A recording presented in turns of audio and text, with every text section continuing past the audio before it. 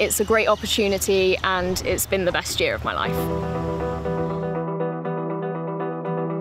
Team Spirit is geweldig, ontzettend veel geleerd. Mensen uit alle landen van de hele wereld zijn hier als vrijwilliger bezig. Ja, en je zet je in voor iets wat heel belangrijk is. Working with completely different animals that I've ever worked with and opportunities that it creates for the future for me and for the animals.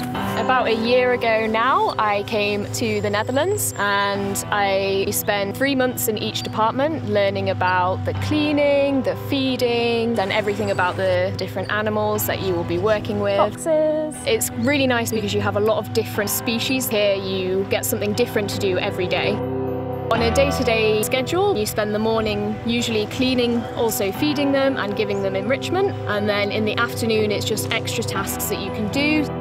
Working here at Stichting AAP, you get to meet a lot of different people from different cultural backgrounds. You get people staying here for a year as well, but you also have volunteers and interns coming in and out, so you get to meet a lot of different people. It's like one big family working here, basically. Morning, Sonny Maria. Ik ben zes jaar geleden begonnen als vrijwillige chimpanseeverzorger. En ik was eigenlijk verkocht door een rondleiding die ik daarvoor had. En dat is altijd in mijn achterhoofd blijven spelen van nou dit is een plek waar ik me graag zou willen inzetten. And you want to start as soon as possible?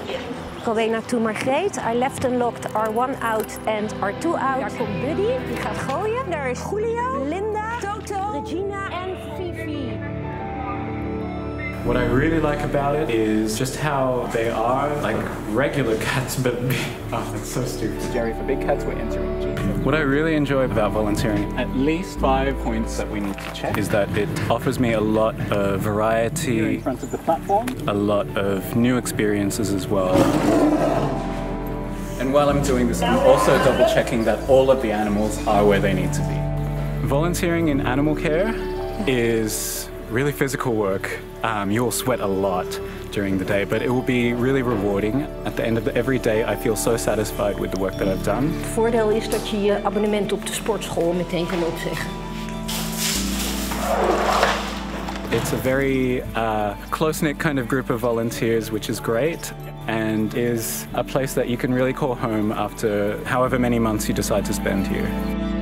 Everybody is super friendly and super nice and so welcoming. They just, it makes you feel like you're at home. So yeah, what I would take away from this year is of course the experience of working with animals, but also it's on how to deal with people and how to work in different situations. Okay, Suzu, Hat, if you're thinking about coming to volunteer, at Pi, I would suggest to come with an open mind um, because at the end of the day, you learn a lot about other cultures um, and also a lot about yourself on top of what you will learn on the job itself. I am going to miss working here so much. It's been one of the best experiences that I have ever done and I would recommend it to anyone and everyone who is looking to work abroad and to work specifically with animals. En er is geen uh, vrijdag dat ik hier uh, niet ben.